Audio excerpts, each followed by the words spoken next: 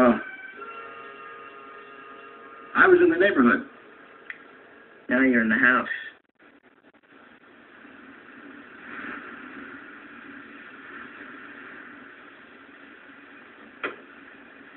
Well, Well, well, are you on or off?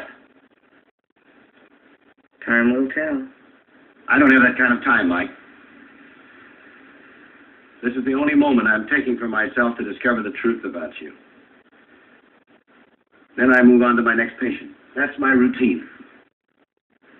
I've had some patients who have gone off, and I've lost them, as we say in the doctorhood, and it matters to me a great deal. But I can't afford to linger because I have so many other patients who are still on. You know why he asked me here this summer?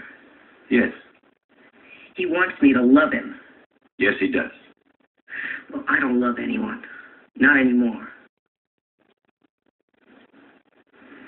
I see. She waited for him. And waited. And even when she committed the ultimate act of bringing him to her, she failed.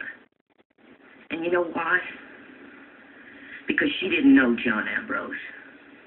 He can't love anyone. He can love you. Mike, he's a very immature man. He's lonely. And he's afraid. He's afraid of death. He's afraid of life. He's afraid of you. You have so much ahead of you. So many discoveries, so many events, so many people. People who are waiting to love you.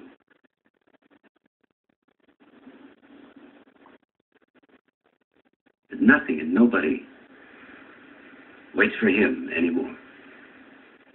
He had those opportunities once and let them slip through his fingers. Now the only opportunity he has left is you. Why don't you take a few years and teach him the good things? Help him. Love him. Show him how it's done. Teach him how to become a father. He wants so very much to learn that.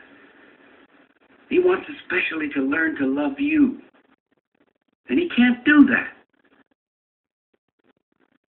without your love. Yes,